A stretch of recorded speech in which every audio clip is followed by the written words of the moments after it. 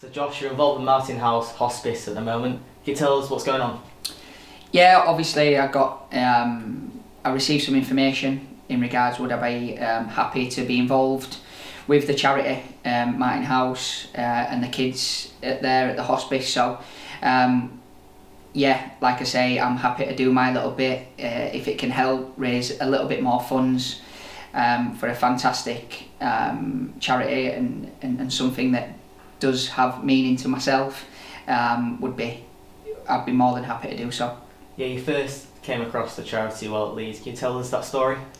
Yeah, um, as a young um, professional um, at Leeds, um, it was my what they what they decided to do was um, your first ever player visit. Um, for instance, so the the whole youth team went across um, to Martin House Hospice and met the kids personally, um, and I think it's just that first initial experience for me and doing a player visit and, and at Christmas time it was as well. So um, is has massively stayed with me and, and, and when I got told would I be happy to get involved with the Martin House um, organisation and charity, I, I, I 100% jumped at that because of my early experience of, of, of being there and, and, and going to visit the kids.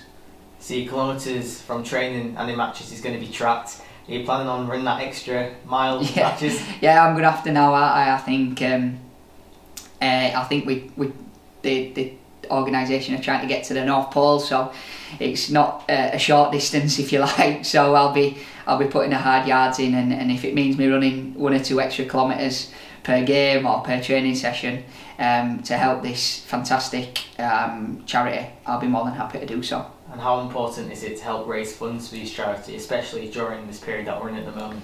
Yeah, it's obviously really tough, but um, whatever people can do, if we can all give a little bit back, um, it will go a, a, huge way. Like I say, I've, I've seen, I've been to meet the kids um, and, and I've seen what it's all about. And when you go at Christmas time, especially at this, at this time of year as well, um, the smiles on faces, it's just incredible to see and how positive they are um, with with everything that's going on in, in, in their lives if, if we can all help and do our little bit by you know maybe donating some funds or doing uh, you know running to the North Pole and, and doing the kilometres you know it, it will go a huge way